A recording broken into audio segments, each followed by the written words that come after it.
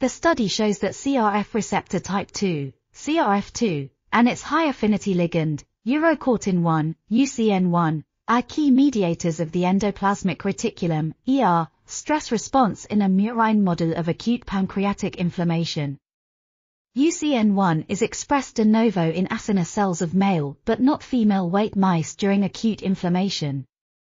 CRHR2 mice of both sexes show exacerbated acinar cell inflammation and necrosis, with markedly distorted ER structure in males. Damage in ER structure is accompanied by increased ubiquitination, PEIF2, and mistargeted localization of vimentin.